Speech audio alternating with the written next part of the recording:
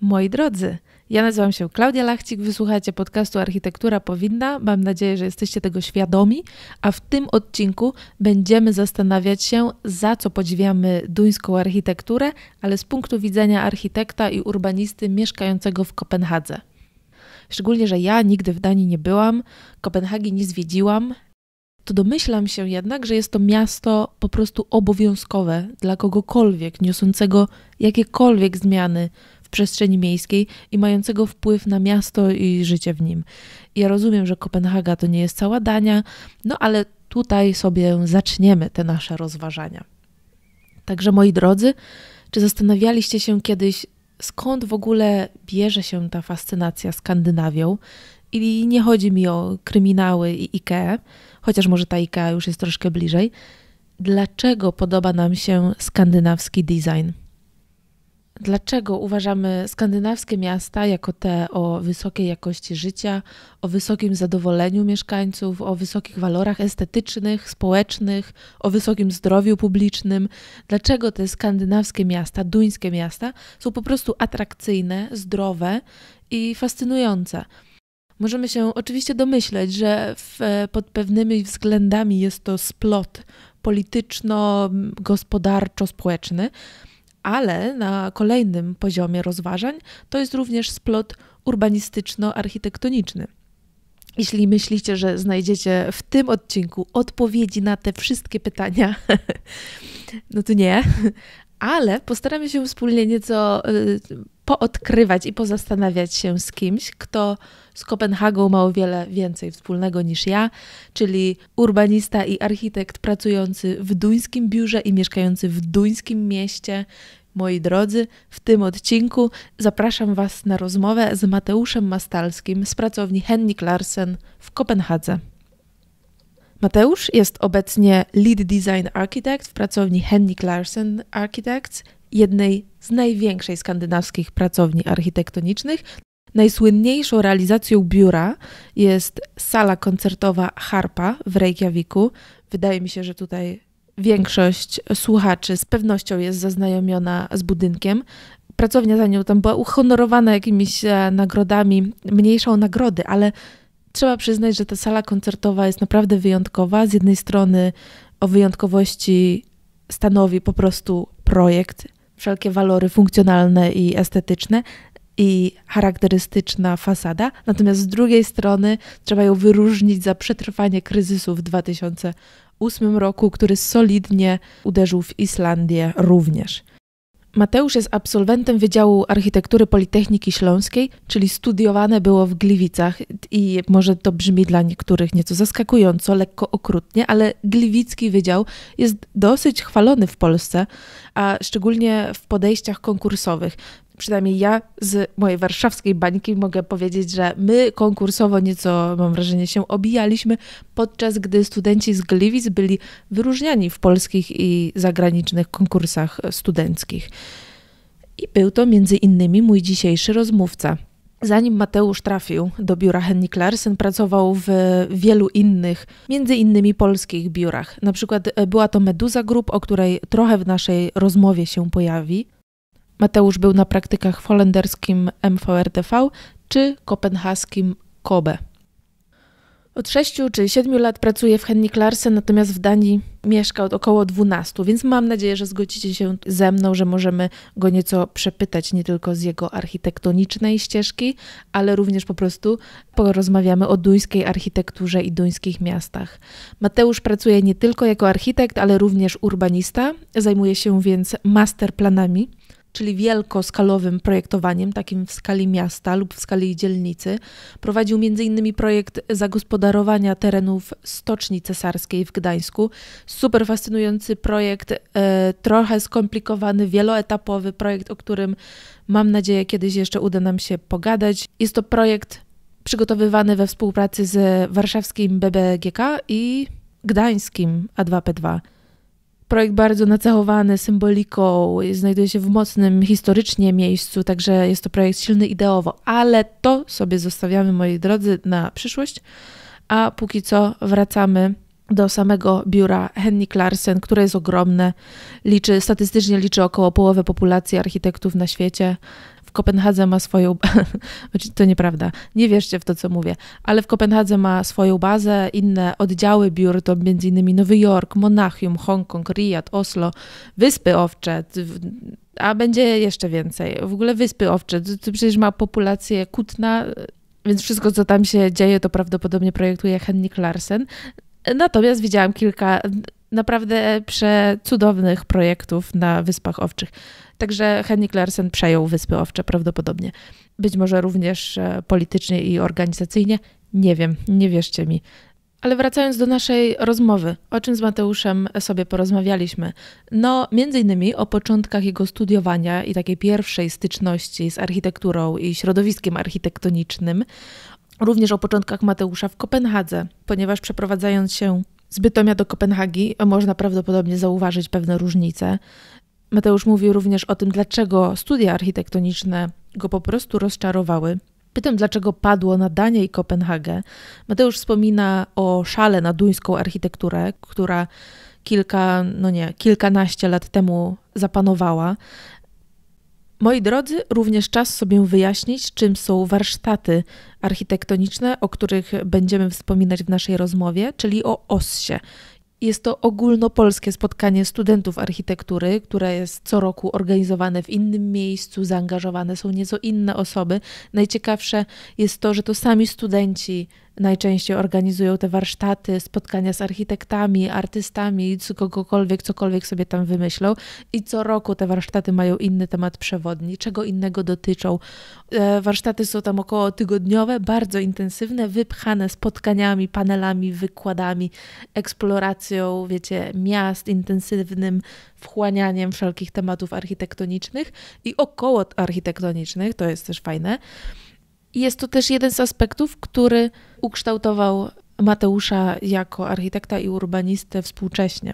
Także ten temat OSSY pojawia się, zostaje z nami na dłużej. Pojawia się również istotna kwestia networku w branży i kontaktów. Pytam Mateusza, jak wygląda praca w Henrik Larsen. Rozmawiamy również po prostu o Kopenhadze, o, o zachwytach miastem, skąd, jest, skąd bierze się ten zachwyt nad duńską architekturą, miastem i designem. Bardzo serdecznie zapraszam na naszą rozmowę. Cześć Mateusz, dzięki, że zgodziłeś się porozmawiać ze mną, także proszę się rozgościć. Chciałabym z Tobą porozmawiać na temat tego, dlaczego my się w ogóle zachwycamy duńską architekturą i podziwiamy te duńskie miasta i dlaczego Kopenhaga jest tą mekką dla urbanistów i architektów. Oczywiście co chwila trzeba będzie zaznaczać, że wiadomo, że Kopenhaga to nie cała Dania, i, I o, co w, o co w tym wszystkim chodzi? Dlaczego, dlaczego Kopenhaga plasuje się zazwyczaj bardzo wysoko, jeśli chodzi o jakość życia? Zazwyczaj gdzieś tam widnieje zaraz za Wiedniem. Bardzo chciałabym Cię również popytać o Twoją architektoniczną ścieżkę, bo jest ona dosyć fascynująca i nie taka prostolinijna. Chciałabym Cię również popytać o aktualne zajęcie i e, doświadczenia biurowe, ale te wszystkie opowieści chciałabym, żeby były owinięte tą nieustanną refleksją e, na temat samego miasta, jakim jest Kopenhaga. Cześć, e, cześć. Dużo pytań. Mam nadzieję, że mamy kilka godzin, żeby popowiadać. To tutaj chętnie, chętnie opowiem. W Kopenhadze mieszkam już od lat będzie to już około 12 lat, jak mi się wydaje, może 11.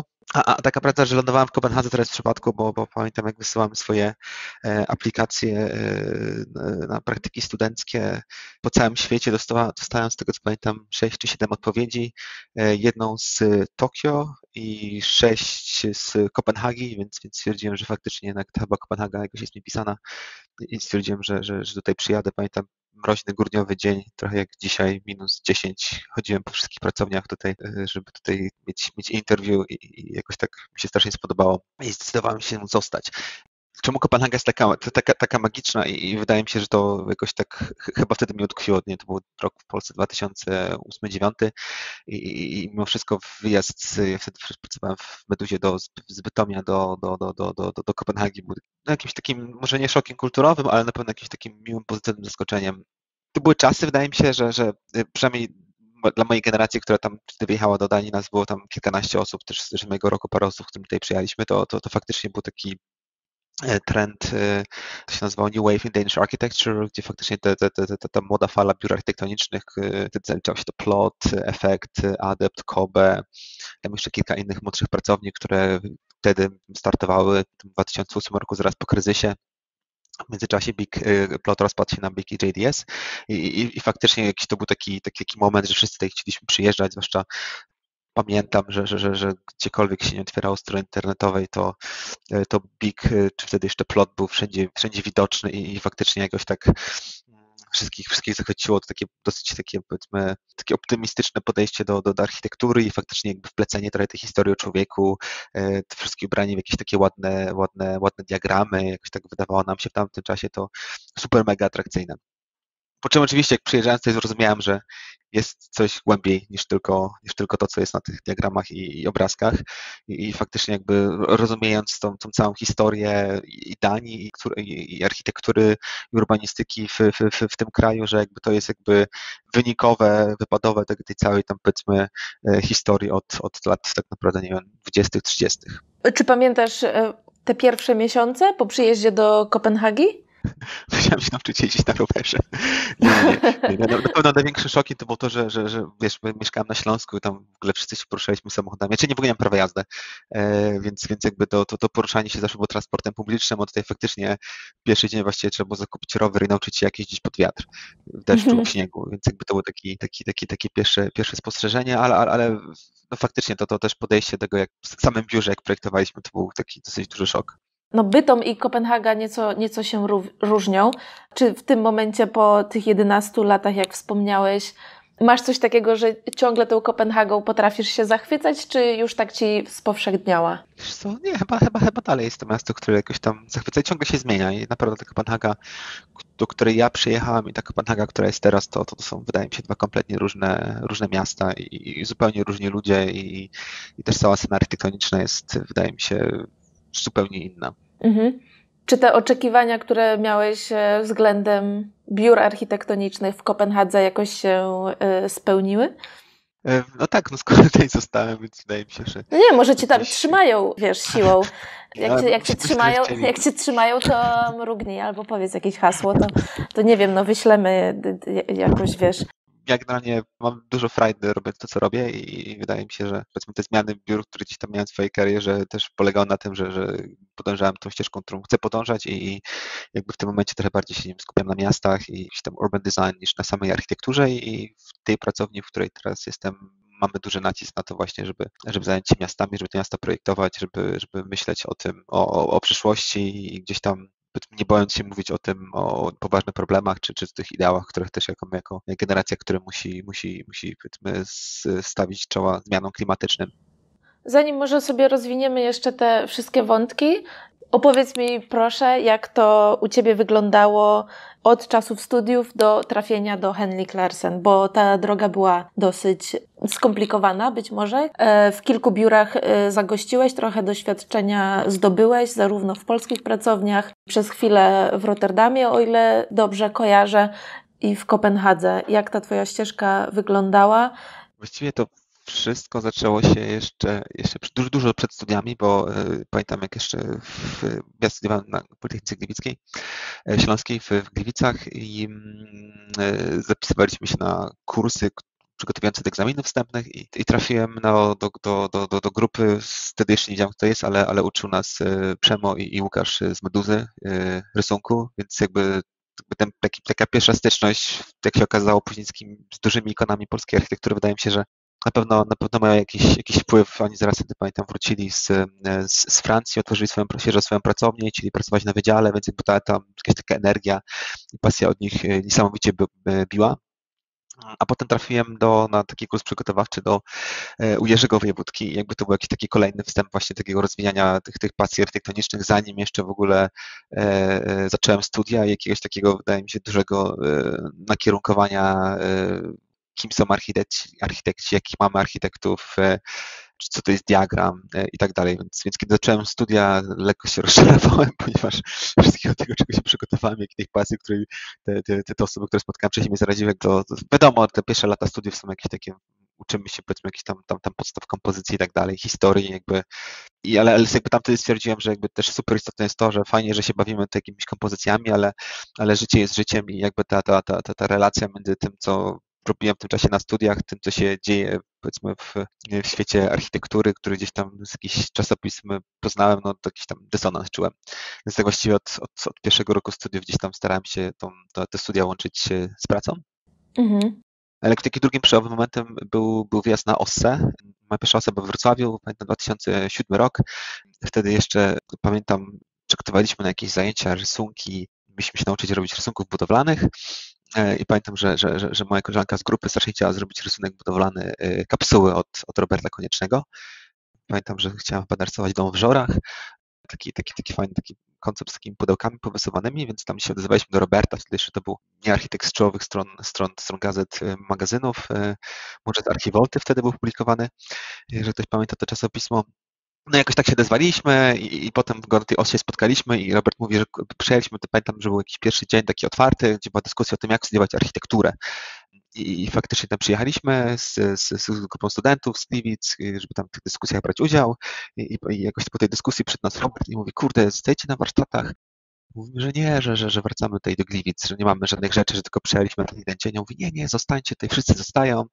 No i tak zostaliśmy wtedy tydzień, pamiętam, w tych warsztatach. Organizatorzy, Gaweł Tyrała i, i Mariusz Szymiński byli strasznie źli, że, że zostaliśmy, e, ale, ale, ale, ale, ale faktycznie to był jakiś taki pierwszy moment, że, że poczułem, że kurde, fajna jest ta architektura i, i super fajne rzeczy możemy robić i faktycznie te warsztaty to jest jakieś w ogóle super fajna moc i jest jakaś po prostu dzika energia, która bije z tego, z tego spotkania i to jest w ogóle kompletnie coś innego niż, niż to, co się dzieje w codziennym życiu na, na uczelni. No tak, tam e, e, chyba wtedy miałeś szansę zauważyć, że istnieje świetna społeczność studentów architektury, że to nie tylko jest studiowanie i bycie na wydziale, ale te wszystkie wydarzenia, które się dzieją w świecie architektonicznym, to jest w ogóle cały cały dodatkowy walor tego wszystkiego. Abs, abs, abs, absolutnie, wiesz, wtedy, wtedy, wtedy, tak naprawdę, wiesz, i tam pamiętam, że był Robert i, i nie wiem, czy i był chyba Meduza i, i, i byli świetni artyści z Warszawy, był, był Ramek Kurtkowski z Wrocławia yy, i wiesz, takie nazwiska, których generalnie jako student nawet nie masz szansy z takimi ludźmi pracować, ponieważ no nie szukujmy się, no tych, tych praktyków na, na uczelniach jest dosyć mało, nawet i dzisiaj, a, a, a mimo wszystko, wiesz, kiedy oni opowiadali, wiesz, kiedy rozmawiałem z klientami, co jest ważne w koncepcie, jak patrzeć na miasto, więc jakby dostaliśmy taką pigułkę, kondensację tego, jak robić projekt tak naprawdę w, w, ciągu, w ciągu tygodnia, więc to była jakaś taka e, super, super ważna przygoda i, i w jakimś tam stopniu gdzieś mnie osy wkręciła i, i, później też miałem okazję być prezesem osy przez parę lat, kilka os też w życiu zorganizować. I... Aha, czyli tak e, wszedłeś tam z ulicy na nielegalu, ale zostałeś jednak na dłużej. tak, zostałem na bardzo dłużej. I, I, pamiętam, że wtedy w 2007 robiliśmy osę w Gliwicach i to była taka pierwsza osa, gdzie faktycznie staraliśmy się też otworzyć na, na, na tutorów zagranicznych i mieliśmy też jakiś, pamiętam, tu był zaraz jakoś przed kryzysem, po prostu gigantyczny budżet. Mieliśmy świetną ekipę, która to, to, to organizowała. Więc to był jakiś taki, taki, taki, taki, wydaje mi się też kluczowy moment tego, że okej, okay, stwierdziłem, kurde, dobra, potem, potem chciałbym pojechać z granicy i, i zobaczyć, jak to jest faktycznie pracować z, z, zwłaszcza w Holandii, wtedy miałem starszą zajawkę na Holandię. To dzięki tym warsztatom e, studenckim złapałeś tą zajawkę, żeby zobaczyć, jak się pracuje mm, za granicą. A dlaczego Holandia na początek? Wiesz co, to, to właśnie też miał jakiś tam związek właśnie z tym takimi kursami przygotowawczymi, wiesz, to zresztą cała Śląska Szkoła Architektury, która dzisiaj bazuje na tej, tej pragmatycznej holenderskiej myśli. To wszystko tak strasznie refleksyjnie, ale teraz jestem trochę tego bardziej świadomy niż może byłem w tamtym momencie, ale, ale myśmy wtedy mieli na studiach takich dwóch największych idoli, to był Henryk, Henryk Zubel i Andrzej Nuda. Oni wtedy przyjechali z, z, z Berlache po takim całym swoim takim turze po, po całej Europie i Holandii, więc jakby oni przynieśli tą taką e, myśl pragmatyczną holenderską, gdzie się tam stali się złapać właśnie z tą, z tą śląską szkołą architektury, taką pragmatyczną, E, funkcjonalną i, i, też, też mieliśmy wtedy, pamiętam, świetnych nauczycieli, był, był, był Jan Kubec, e, w tamtym momencie e, był i, i Damian Radwański, więc jakieś takie nazwiska, bo oni wtedy wygrywali Europany, więc jakby tam wszyscy się strasznie tym, tym, tym, tym jaraliśmy, więc ta Holandia gdzieś tam była jakaś takim, powiedzmy, taką naszą mekką, do której chcieliśmy tam wszyscy, wszyscy pojechać. Mhm. I jakie były twoje doświadczenia już z, z praktyk holenderskich? Były takie, że się nie dostałem do praktyki do Holandii za pierwszym razem. Też nie chciałem tylko do MBRD pojechać, jakby to był taki po prostu mój totalnie, totalne, totalne jakby takie marzenie i mhm. no, wtedy się nie dostałem, no, jakby wysłałem te portfolia, to dostałem od nich negatywną odpowiedź, stwierdziłem, no trudno, następnym razem. No i poddałeś się? Nie, nie poddałem się, oczywiście się nie poddałem. ale, ale życie polega na porażkach i jakichś tam wyciągania z tego, z tego, z tego, z tego wniosku, więc tak, każda porażka jakbyś tam robi nas silniejszymi ludźmi. Ja też w międzyczasie też pracowałem w jakichś takich biurach, właśnie też u Jacka Krycha, gdzieś tam u, potem u Roberta Koniecznego i, i w Meduzie, więc gdzieś tam ciągle starałem się e, faktycznie pracować i tak pamiętam, że zorganizowałem ostatni rok studiów, nie przedostatni rok studiów, że, że przez dzień mogłem pracować, a, a wieczorami sobie tam studiowałem. Czyli nie traciłeś czasu. No i jeśli łączyłeś studia i pracę, to znaczy, że też e, czasu na jakiś czas wolny było niewiele, także to już e, jest bardzo dobre e, przygotowanie do praktyk, na przykład w MVRDV. A w czasie, w czasie wolnym to zawsze organizujemy robiliśmy warsztaty i robiliśmy też, zainspirowani Tomkiem Malkowskim, robiliśmy dyskusję o Bertalu z Katowic, o dworcu w Katowicach. Zorganizowaliśmy właśnie tą, tą, tą, tą osce, jakieś letnie osce w Chorzowie, gdzie dyskutowaliśmy o o, o Parku Chorzowskim, więc gdzieś tam głos takiej publicznej debacie też był dla mnie jakoś istotny, że czułem, że architekci mamy na to wpływ. Mhm. Poczułeś ten moc. No i dobra, i pierwsze praktyki zagraniczne, jak to się później potoczyło? Wysłałem właśnie te, te, te, wszystkie aplikacje i pojechałem do do Kopenhagi, pamiętam, miałem taki życiowy dylemat, czy, czy pójść do, do Adeptu, czy do Kobe. Rzuciłem monetą, wypadł Adept i poszedłem do Kobe. E, tam zostałem około 5, 5 lat. Biuro było bardzo małe, teraz to jest 100, chyba 50-osobowa pracownia. Jak zaczynałem, to było 12 osób. E, mieliśmy okno, przez które wpadał śnieg. Też zaczynaliśmy od, od przynajmniej w tamtej pracowni, od, od naprawdę bardzo skromnych warunków. Ale był to y, jakiś szok po praktykach w Polsce? Była jakaś wielka różnica w podejściu do projektowania? Czy bardzo szybko się tam zaadaptowałeś, wchłonąłeś i nawet nie zauważyłeś wielkich e, różnic? Nie, no to, to był jakiś tam, wiadomo, gigantyczny, gigantyczny nakład, e, nakład, nakład pracy, bo faktycznie ta cała metodologia pracy jest absolutnie zupełnie inna od tego, czego się czuliśmy i na studiach i, i, tego, co, co, co liznąłem w, w polskich pracowniach, gdzie faktycznie ten nacisk na tą całą taką konceptualną fazę analizy był, był super ważny i super istotny. I, i też powiedzmy całe podejście takie bardziej każdy głos się liczy i jakby to jest taki ten proces bardziej powiedzmy otwarty i w jakimś tam stopniu demokratyczny. A, czyli brak hierarchii jednak w biurze, co jest rzadkością, wydaje mi się. Czy po Kobe to już trafiłeś do Henrik Larsen?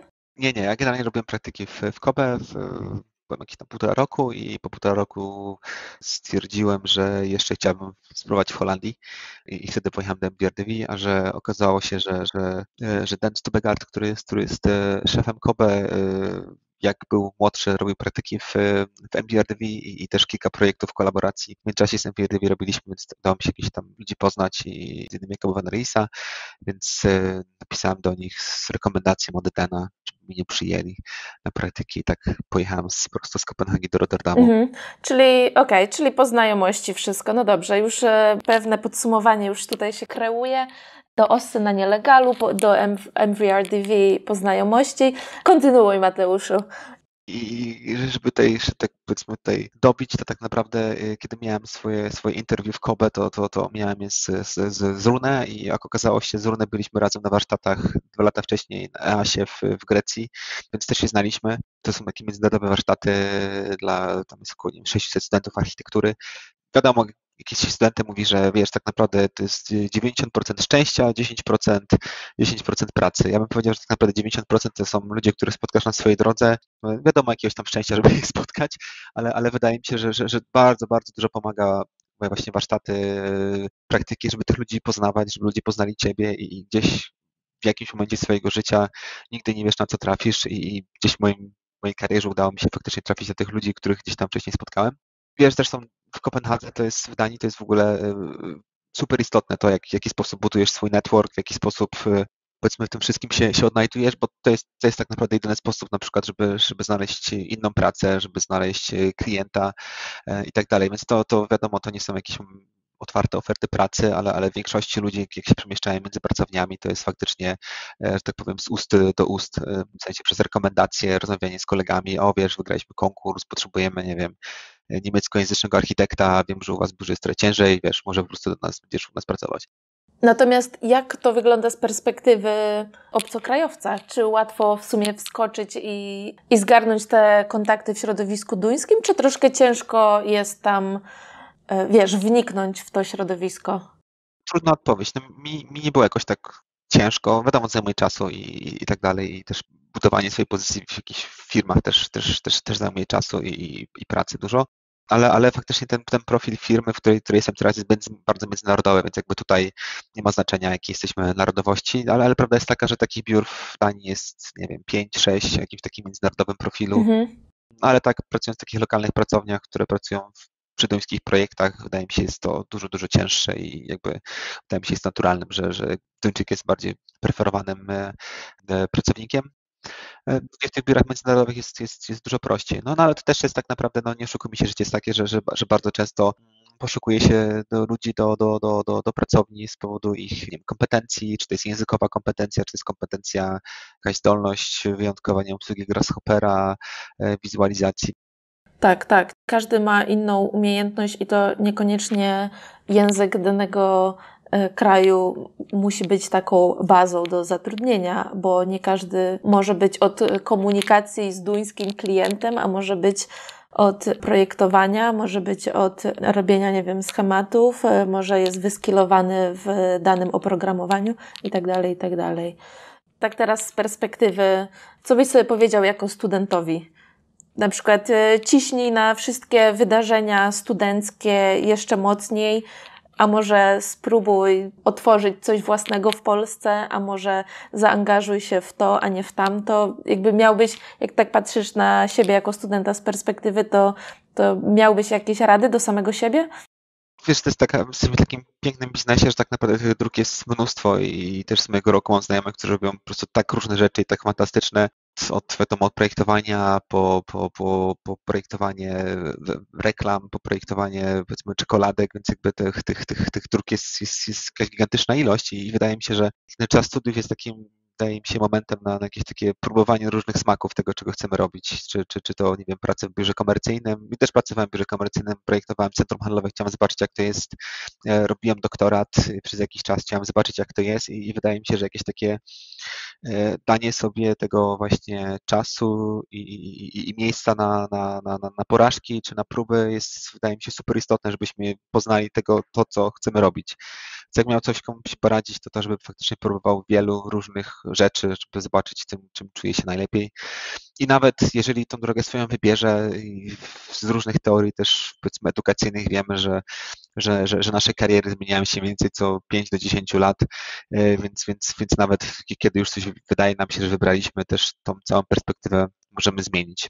Plus sama architektura czy urbanistyka jest tak szerokim tutaj polem, że wewnątrz samych, samej architektury czy urbanistyki można wybrać sobie e, różne ścieżki, a tym bardziej biorąc pod uwagę taką multidyscyplinarność, która panuje w środowisku, to tym bardziej można przeskoczyć do jakichś bardziej społecznych czy psychologicznych wątków, czy, czy projektowania czegoś innego, gier, e, robienia makiet, robienia wizualizacji itd., tak itd.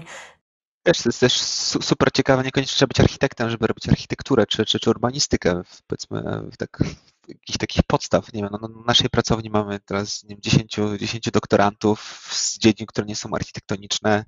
Zajmują się nie, projektowaniem światła, zajmują się analizą data, big data, e, zajmują się akustyką i tak dalej, i tak dalej. I też są częścią procesu projektowego. Mamy socjologów, ludzi zajmujących się właśnie social sustainability i też robimy architekturę, dyskutujemy o tym, czy tam robimy urbanistykę, dyskutujemy, rozmawiamy i też są częścią procesu projektowego. Mhm. E, więc gdzieś, nie wiem, ta, ta rola, którą jakby mamy, wydaje mi się też przez to, że jakby próbujemy tych różnych rzeczy, jest jakieś takie interdyscyplinarne, bardzo często sprowadza się tego z takim fasy, takim moderatorem, o, moderatorem tych procesów bardziej może niż, niż, niż przyczynkiem. Czy to jest e, jedna z tych cech, e, multidyscyplinarność, wielobranżowość, dlaczego jesteś w Henrik Larsen i jakby na razie nie zamierzasz się zmieniać? Na, na pewno tak, na pewno zwłaszcza kiedy gdzieś taki miałem właśnie taki mały taki moment w karierze, że stwierdziłem, że nie chcę robić budynków. E, jakiś taki zauważyłem trochę bezsens w, w projektowaniu ich i stwierdziłem, że faktycznie jakiś taki większy wpływ na, na, na, tą, na to, co nas otacza, może mieć robiąc urbanistykę.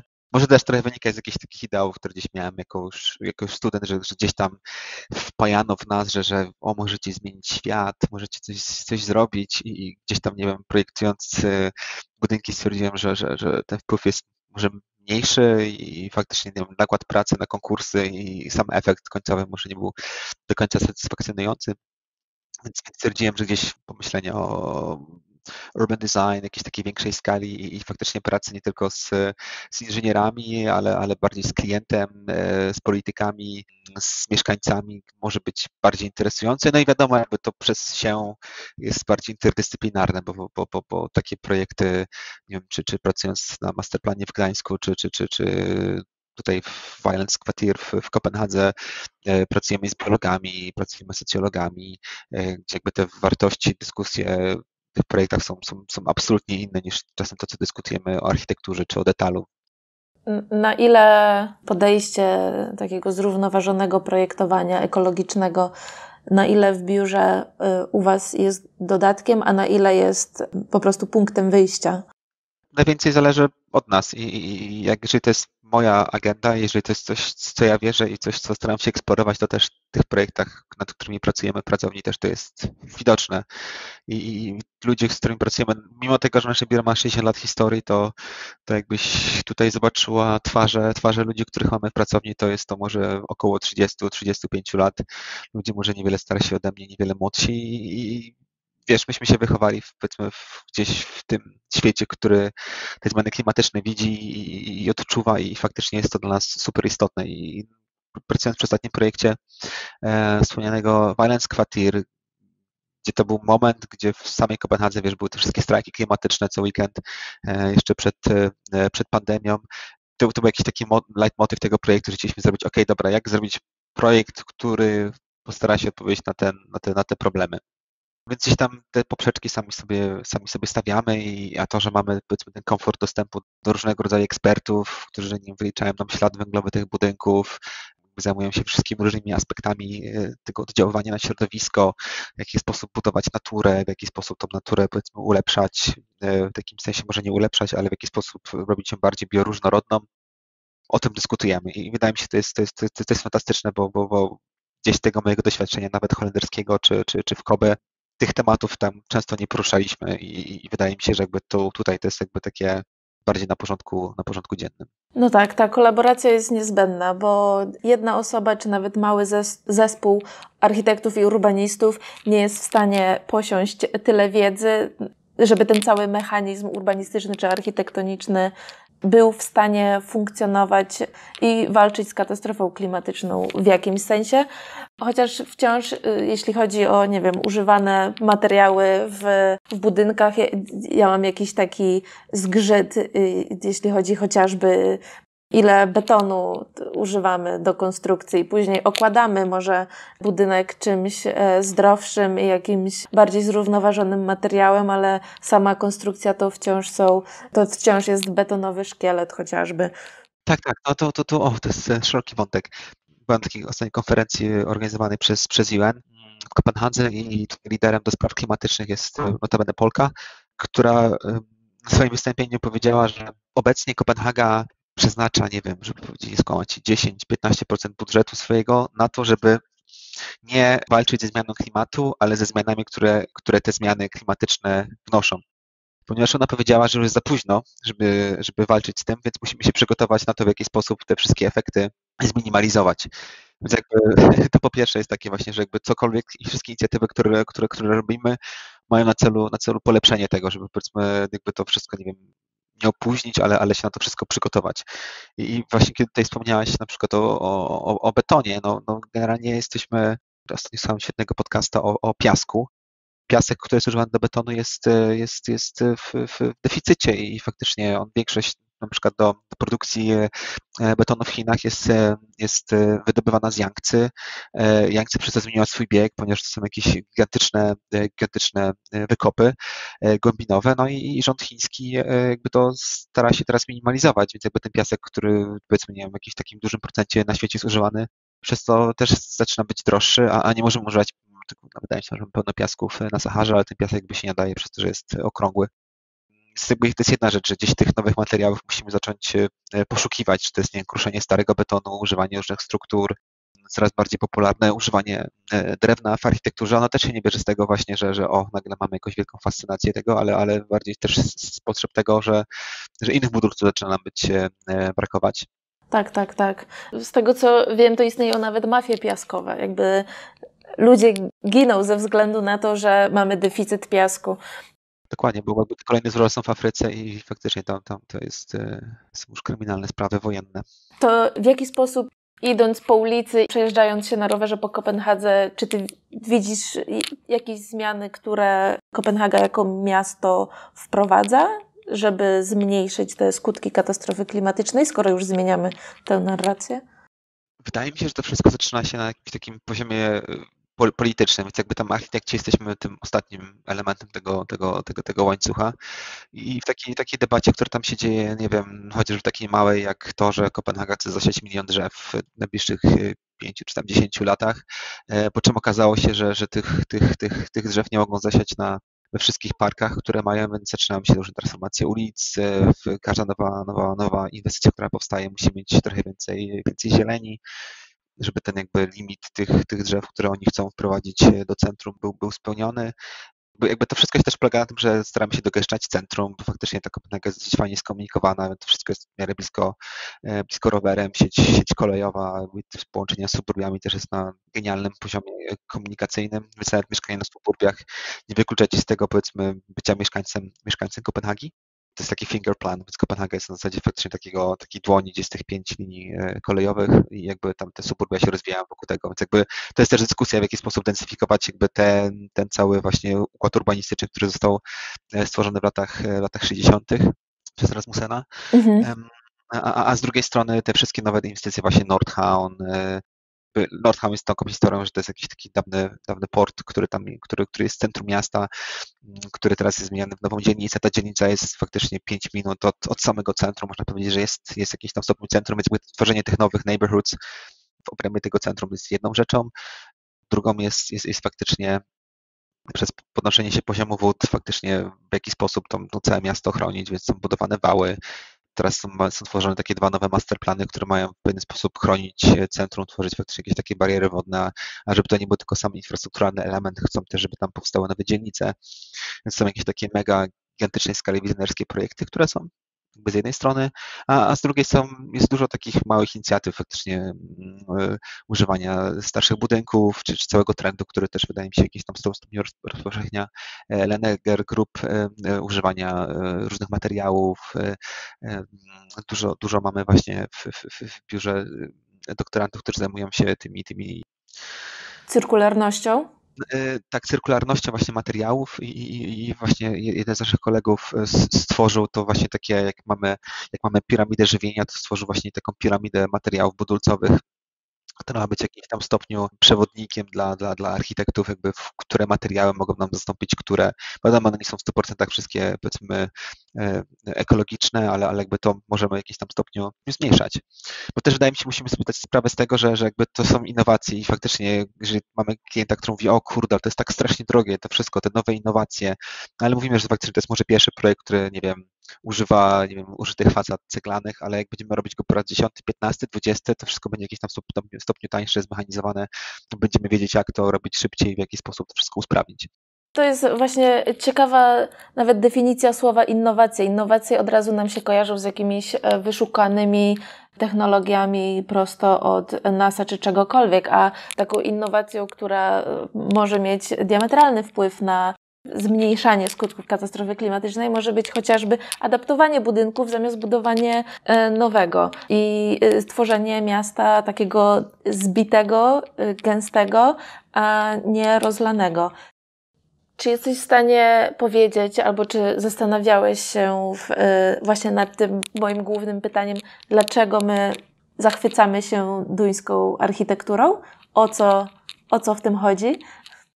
Wiesz co, wydaje mi się, są dwie rzeczy. Pierwsza jest taka, że Duńczycy tak naprawdę od, mają jakąś taką silną tradycję, silną tradycję projektowania wszystkiego takiego modernistyczną, no nie? że faktycznie ci najwięksi, nie wiem, Jakobsen, Utzon, powiedzmy jeszcze Kifisker i tak dalej, oni, oni wszystko projektowali, począwszy od, od, od swojego, od, od mebli w domu, powiedzmy, oh, jak to się nazywa, handlebar. Klamek do drzwi klamek, od drzwi, wiesz, kończąc tak naprawdę na całych tak naprawdę wizjach tych, e, tych miast. Więc jakby to jest, to jest, się, jedna rzecz, że jakby gdzieś ta tradycja tam powiedzmy cały czas, cały czas była. I, I mimo tego, że to nie był powiedzmy że poza nim Jakobsenem, Uconem, to większość tych architektów była powiedzmy dobrej jakości naprawdę, wiesz, Kopenhaga nie została prawie w ogóle dotknięta przez II wojnę światową e, i jest silna kontynuacja faktycznie tych generacji, gdzie, gdzie Henrik Larsen był praktykantem u Jakobsena. E, to jest jedna rzecz, jakaś taka kontynuacja myśli tego, tego wszystkiego a druga rzecz jest polityczna, że, że, że lata 60., kiedy Kopenhaga e, chciała się stać tym właśnie welfare state, e, dano właśnie duży nacisk na to, żeby tworzyć tam architekturę publiczną, żeby były wysokie podatki, żeby to wszystko było demokratyczne, dostępne dla mieszkańców. Wydaje mi się, że te, te dwie linie spowodowały, że, że faktycznie gdzieś, gdzieś to nas to wszystko fascynuje, bo jest to i dla ludzi, i, i, i jest to tak naprawdę i, i też ładne. No i oczywiście cała robota, którą wykonał Jan i rozpowszechnił takie miasto w skali ludzkiej, myślę, że też wpłynęło. Tak, tak, absolutnie. No cały, cały wiesz, ten po prostu ta rewolucja lat, lat, lat 60. wydaje mi się ma tutaj niebagatelny wpływ na to, co się dzieje, dzieje, dzieje w Kopenhadze. Począwszy od Christiani, która też właśnie powstała w, w tamtym czasie, czy, czy inspiracji Gelem, y, studiami, które były ze Stanów. To jakby też nie było nic nowego, co oni tutaj wymyślili, tylko oni w jakiś taki sposób, wydaje mi się, bardziej konsekwentne to, y, to, to, to, to przeprowadzili i faktycznie eksperymentując na, na, na, na, na, na Kopenhadze. No, też, też mi się wydaje, to jest taka jedna rzecz, tam tą Kopenhagę tak mityzuje, jakoś taką mamy pewien mit tego wszystkiego, ale to nie jest coś, co się działo tylko tutaj, to się działo na całym świecie, ale w jakiś sposób w Danii, w Kopenhaga starała się to wszystko w jakiś taki sposób drożyć. Nie wiem, czy to przez to, że jest taki mały kraj, czy przez to, że to jest, nie wiem, tej władze były jakieś takie bardziej silniejsze, czy, czy, czy kolektyw mieszkańców, gdzieś te zmiany udało się prowadzić. No nie wiem, e, Gal zawsze się chwali tym, że, że faktycznie ten, ten początek, e, zamknięcie głównej ulicy do ptaka dla samochodów, e, stworzenie tego, tego, tej, tej ulicy tego, tej handlowej pieszą, wydaje mi się, jest jakimś takim pierwszym krokiem tego, dlaczego taką, a nie inną Kopenhagę lubimy. Myślę, że Jan Gal też się mocno, znaczy on sam o tym pisał, czy mówił, że się mocno inspirował Jane Jacobs, a jeśli chodzi o takie zmiany e, miastotwórcze i nie wiem, zmiany próbujące wprowadzić e, tą lokalność czy miejską intymność w Nowym Jorku w latach 50. czy 60., no to nie było łatwo adaptowalne. Natomiast miasta europejskie wydaje się, że trochę uniknęły, e, chcąc nie chcąc, amerykanizacji, przecięcia metropolii wielkimi autostradami i przejęcia ulic przez samochody. Oczywiście w niektórych miastach to się stało i wciąż z tym walczymy, ale samochodoza jednak narodziła się w, w Stanach, więc tam była najłatwiej aplikowalna. Tak, tak. No, wydaje mi się też, musimy pamiętać, że to nie jest tak, że Kopenhaga nie ma autostrad. Tutaj też jedna z, jedna z estakad została zaprojektowana przez Senigel Arsenal w latach 60. E, więc, więc wydaje mi się, że to, to też były takie czasy, gdzieś ta, powiedzmy nie 50., 40., gdzieś ta fascynacja tym, tym, tym, tym, tym automobilem była, była zupełnie inna niż jest teraz i pewnie się tego w tamtym czasie nie spodziewali, co z tego wszystkiego urośnie, ale, ale dużo też pięknych bulwarów, które, które były w Kopenhadze są do dzisiaj 6-7 pasmowymi drogami, ale, ale są dyskusje faktycznie, żeby to wszystko jakiś tam sposób e, odtworzyć, e, powiedzmy wprowadzić więcej, więcej zieleni i też jest fantastyczna praca biura e, Trile Nature, Third Nature, które, które ma dużo właśnie takich projektów, żeby wprowadzać tą zieleń tak dosyć intensywnie. Czasem to wygląda jak greenwashing i, i pewnie jest to greenwashingiem, ale, ale wydaje mi się, że do jakiejś takiej publicznej debaty, wydaje mi się, jest to, jest to, jest to konieczne, jakaś taka simplifikacja tego wszystkiego. Jakby tego się, tego się nie boję, bo wydaje mi się, że to jest, jest ważne, ale wiadomo, jakby to, to się też jakoś tam mm, wiąże z jakąś krytyką z, ze strony ze strony ludzi z naszej branży, ale, ale, ale, wydaje mi się, że też jeżeli ten projekt ma coś głębiej i faktycznie jeżeli się do niego zajrzy i ktoś jest bardziej zainteresowany, to, to one mają jakby tam dużo więcej e, tych warstw y, zmian, które są. Tak, tak. Na, na greenwashing on jest z jednej strony nieunikniony, ale z drugiej strony musimy być bardzo uwrażliwieni, bo bo czasem to jest e, faktycznie przykrywanie, to jest jedynie dobra chęć. No mówi się, przepraszam za e, wiercenie, ale poszłam do sąsiadów i po holendersku powiedziałam, że poproszę o godzinę ciszy. No i ta godzina się skończyła, więc jednak e, przynajmniej zrozumieli, że chodziło mi o godzinę, ale teraz się zaczyna ponownie. Ale no nawet o greenwashingu mówi się w kontekście Copenhill, czyli e, spalarni śmieci zaprojektowanej przez BIG z, ze stokiem narciarskim e, na dachu. Nie wiem, jaka, jaka jest Twoja opinia względem tego budynku, bo no, założenie jest bardzo dobre, proekologiczne, bo jednak jest e, to spalarnia śmieci produkująca prąd z drugiej strony ma tam takie różne gadżety, jak tam co jakiś czas jakiś buch idzie, nie wiem, z komina. Nie pamiętam o co tam dokładnie chodzi. Tego, tego, tego, tego niestety nie ma. Już nie ma?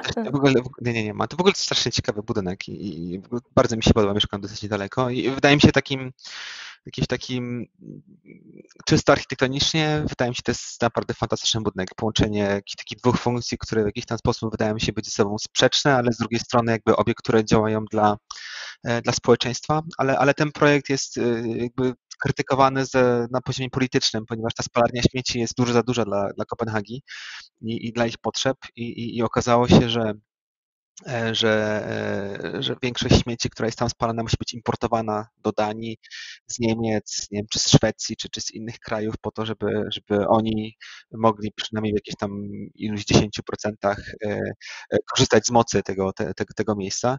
Więc na tym poziomie to faktycznie wydaje mi się możemy mówić o greenwashingu, ale jakimś takim architektonicznym, wydaje mi się, jakby każda spalarnia śmieci taka była, jeżeli powiedzmy e, ta, ta, ta architektura, to wydaje mi się, że wiesz, że to jest tylko 5%, które dodajemy do, do, do, czegoś, do czegoś złego, czegoś, co może nie jest do końca uniknione, to, to też, też jest ok. E, wiadomo, że chcielibyśmy być e, radykalni i super krytyczni, żeby wszystko w 100% było było, było, było powiedzmy dobre dla środowiska, ale, ale wydaje mi się, że trochę potrzebujemy czasu, bo jakby tych wszystkich technologii jeszcze, jeszcze nie opanowaliśmy i faktycznie jakby każdy kolejny budynek jest, wydaje mi się, dużo, dużo lepszy. Mm -hmm, wiele prób musi być e, przebytych, tak tak. tak. tak. Tak, mi się wydaje, że gdzieś tam musimy sobie dać tą, tą szansę I, i, i dobrze, że takie budynki się krytykuje, bo jeżeli ta krytyka powiedzmy zachęci jakbyś tam kolejnych inwestorów do, do, do, do, do, do zmian, czy przemyślenia, czy, czy polityków, to jest to na plus.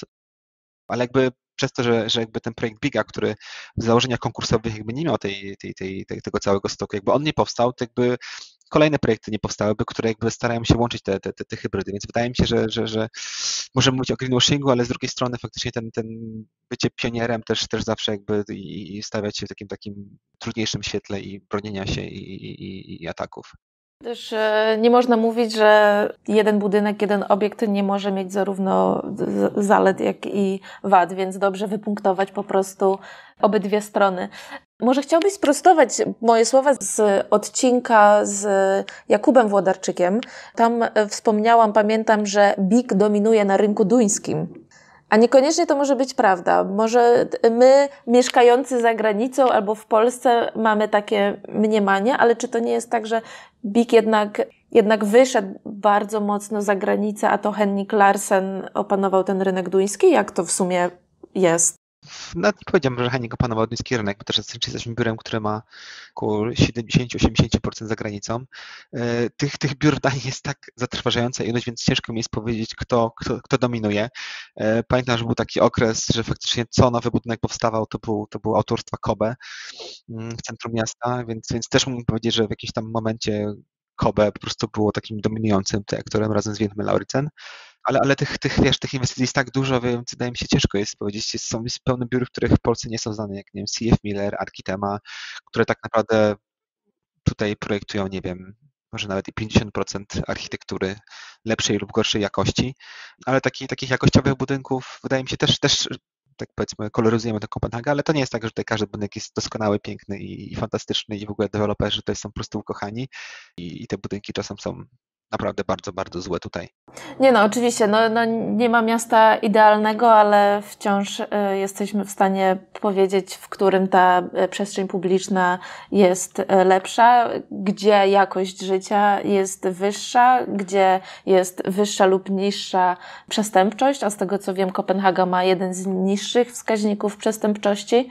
No, ale, ale właśnie wracając, wydaje mi się, że, że to jest takie ta, ta scena architektoniczna jest bardzo tutaj zróżnicowana i jest, jest bardzo rozłożona. Mamy jeszcze takie pracownie jak 3XN, które też robi świetną architekturę na całym świecie i, i faktycznie może w, do Kopenhadze samej Danii nie ma aż tak wielu budynków, jak ma za granicą, e, ale dalej jest to jakieś takie biuro, do którego tutaj wszyscy też chcą, e, chcą aplikować. Mhm, to prawda. Jeśli ktoś chciałby zaaplikować do Henrik Larsen, to co powinien zrobić? E, wysłać portfolio. Do kogo?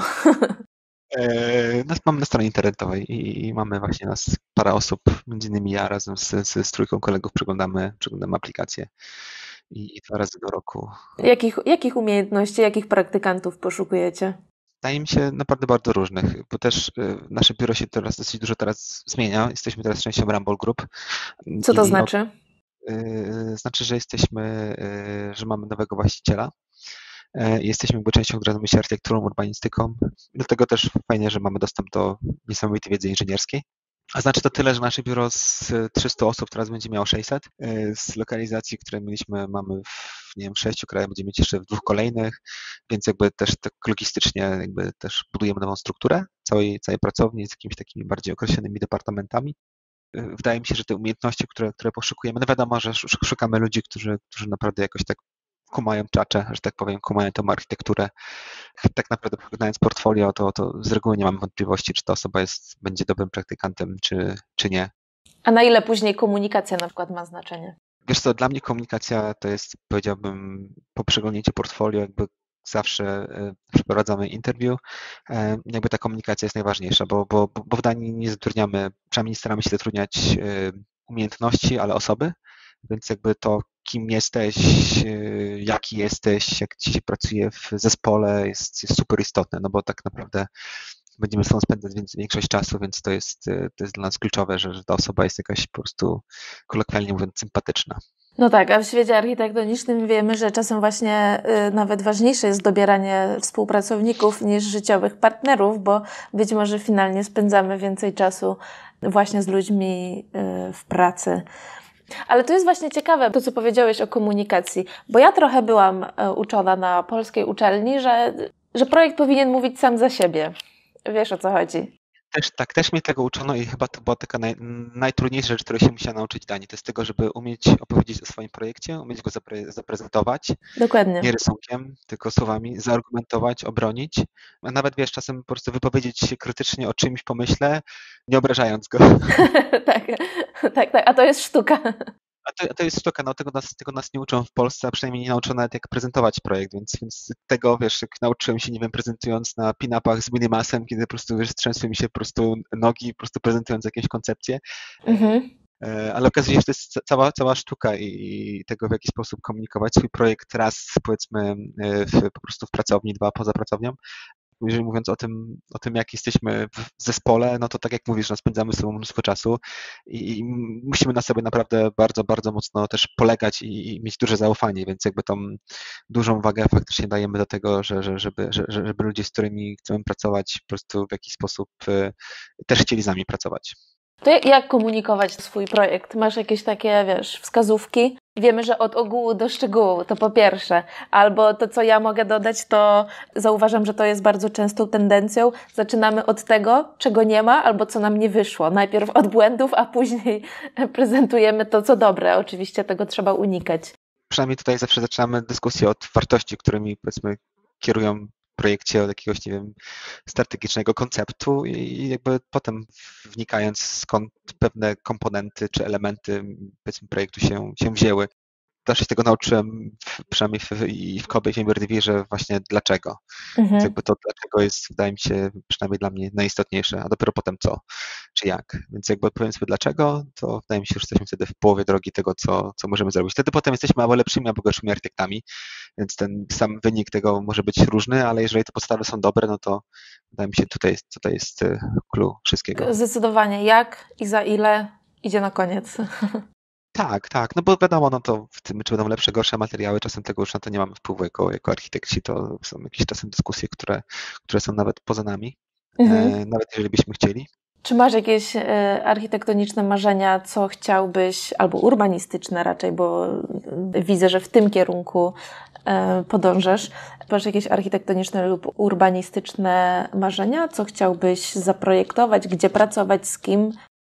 Miałem to szczęście, że pracowałem dużo z różnymi ludźmi e, poza biurem i z naprawdę świetnymi architektami, więc gdzieś zawsze moje marzenia szybko spełniam. No to właśnie teraz, jak wypowiesz to na głos, to yy, wiesz. Yy, moje marzenie? Wizualizacja swoich marzeń.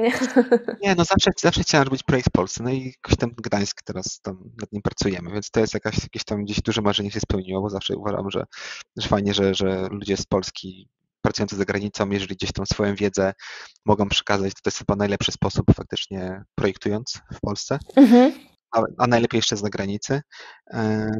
Nawet to piękne miasto, jedno z moich ulubionych.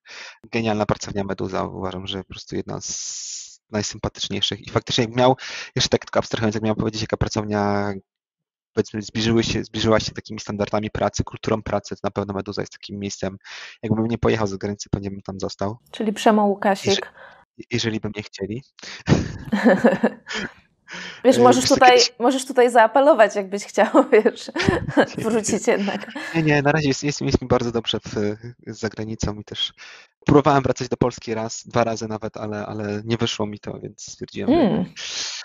Muszę być tutaj za granicą. Lokalny patriotyzm tym kierował, czy różne sytuacje. Tak, nawet, tak, tak, to trochę patriotyzm gdzieś tam, chciałem ten doktorat zacząć robić o, o właśnie infrastrukturze społecznej e, we Wrocławiu, ale, ale po pół roku stwierdziłem, że jednak ciężko się będzie z tego utrzymać i żyć, więc, więc stwierdziłem, że jednak trzeba wrócić za granicę mhm. i może, może po 40 albo 50 to są dobre czasy, żeby robić doktorat, wtedy jesteś bardziej doświadczony.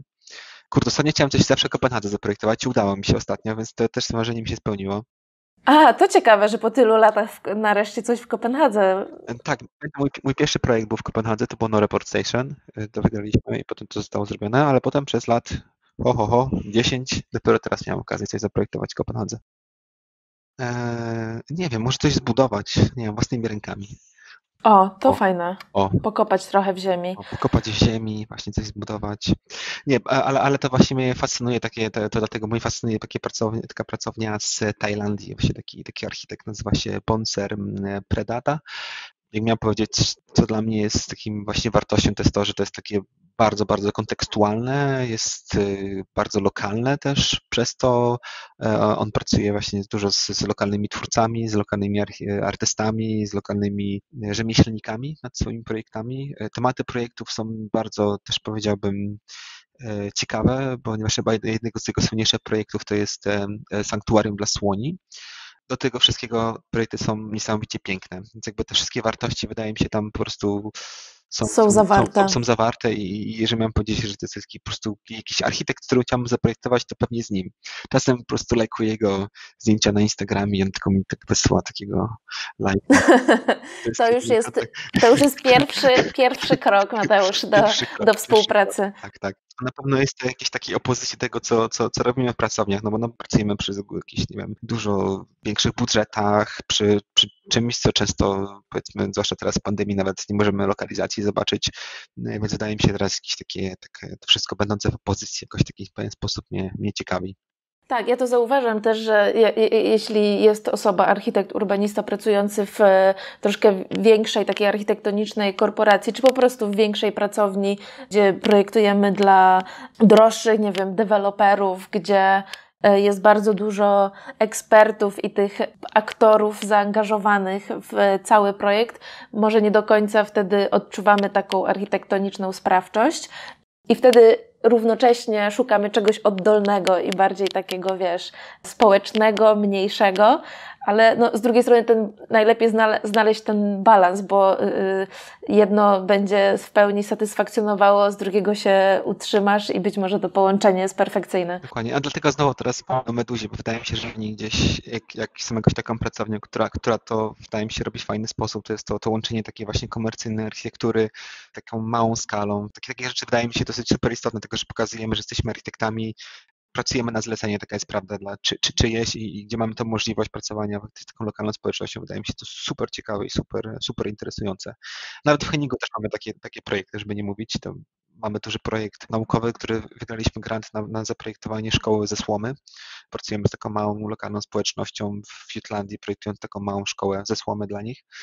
Gdzieś te tematy staramy się łączyć, może trochę inaczej, nie tak może filantropijnie jak, jak, jak Meduza, ale, ale w jakiś taki sposób wydaje mi się, jest to istotne, że, że, że coś, coś robimy prospołecznie jako architekci urbaniści. Tak, żeby nie, pozostać takim od, oderwanym gdzieś od społeczności i nie zaangażować się jedynie w pracę dla deweloperów czy wielkich klientów. Dokładnie, dokładnie. Znaczy, powiem Ci też na przykład, widzę też, że, że i deweloperzy się zmieniają. No, mam, tą, mam tą przyjemność pracować przy, przy Stoczni Cesarskiej i, i taki jest to dosyć budujący, w jaki sposób można zbudować relacje z lokalną społecznością e, w miejscu, które jest dosyć trudne. To jest w ogóle temat pewnie na inny podcast, cały ten projekt. Tak, ja w, ja w ogóle specjalnie omijam temat Stoczni Cesarskiej w Gdańsku, bo jeśli tam zacznie się coś dziać, ja chcę jakby ponownie o tym porozmawiać i przeznaczyć cały odcinek na to, bo to jest zbyt skomplikowany proces i projekt. Dokładnie, ale, ale wydaje mi się, że dzieje się dużo naprawdę fantastycznych rzeczy. Jeżeli coś takiego bliskiego Kopenhadze może się właśnie dziać, to, to, to właśnie tam w Gdańsku, gdzie, gdzie jest fantastyczny deweloper z, z, z, z Beneluxu.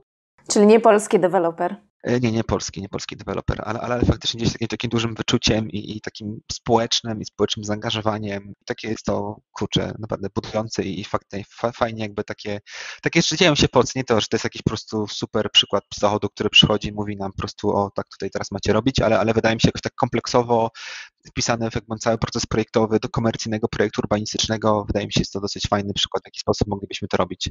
Bo wiadomo, takich projektów też jest, wydaje mi się, dużo w Polsce i dużo takich fajnych rzeczy się dzieje i, i, i w Holandii zwłaszcza też pewnie widzisz, co się dzieje też.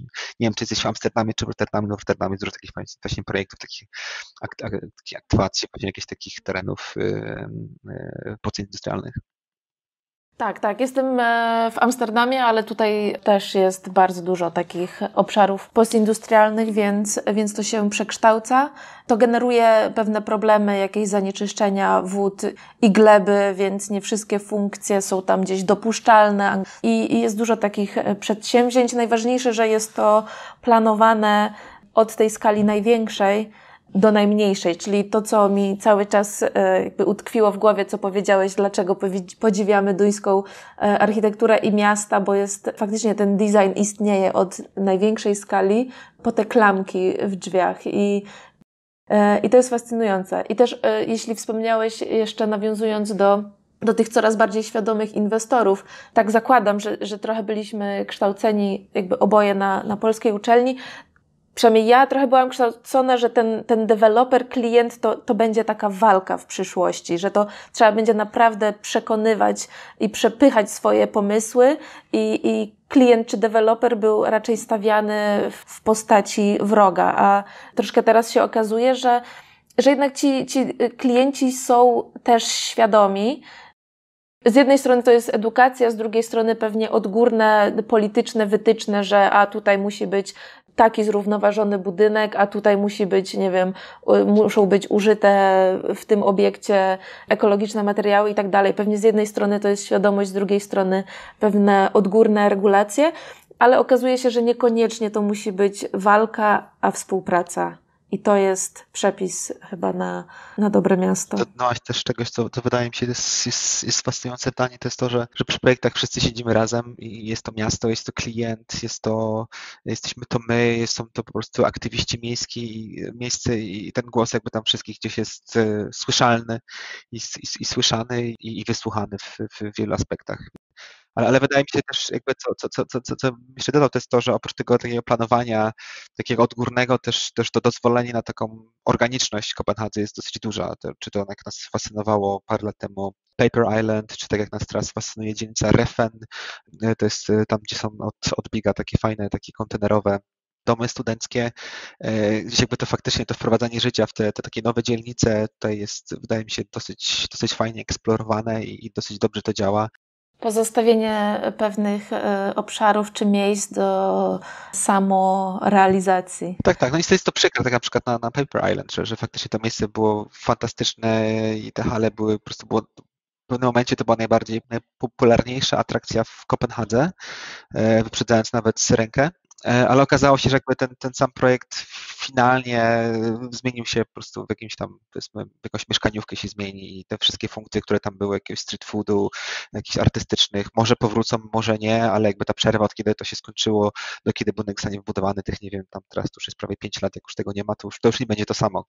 E, więc wydaje mi się, że też to używanie tego placemakingu do takich deweloperskich e, inicjatyw też wydaje mi się jest takie, tak jak mówisz, no z jednej strony fajnie, ale z drugiej strony czy to, czy jesteśmy, czy to jest kompromis, czy powinniśmy być bardziej radykalni i w ogóle tego nie robić i zostawić tak jak to jest, czy ten zysk dewelopera, czy tam jest to twórczość, prowadzenie tych nowych funkcji, więc wydaje mi się, że to wszystko jest takie dosyć, e, dosyć trudne i, i to są też decyzje, które są na poziomie politycznym z reguły robione, więc my jako architekci potem się wszystko możemy zgodzić lub, lub nie, ale, ale też efekt finalny wydaje mi się jest, e, jest chyba, mówi, mówi sam, sam za siebie z reguły.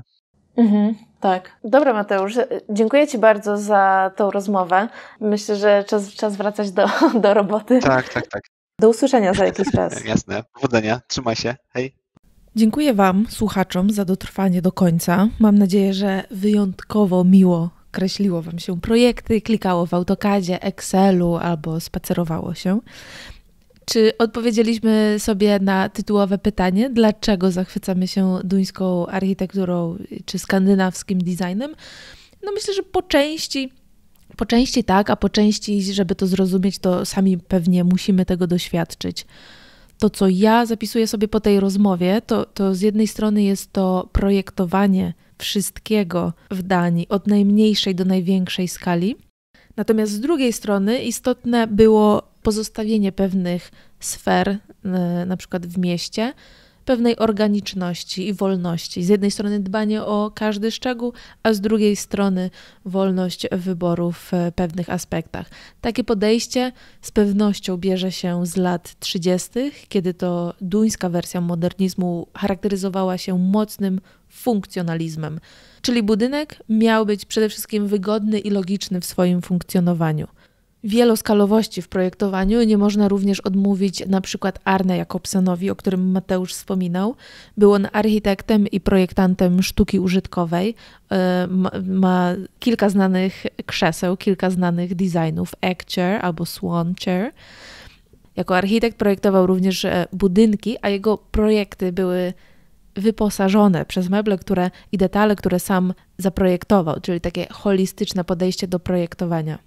W temacie architektonicznym warto zapamiętać nową duńską architektoniczną falę na początku XXI wieku, która zdanie się wylała i rozproszyła optymistycznie po całej Europie, a, albo trochę dalej również. I, I mowa tutaj przede wszystkim o kilku charakterystycznych biurach, które zakwitły na początku XXI e, wieku i, i był to Big, e, JDS, Kobe, Transform, Nord, Effect czy Adept.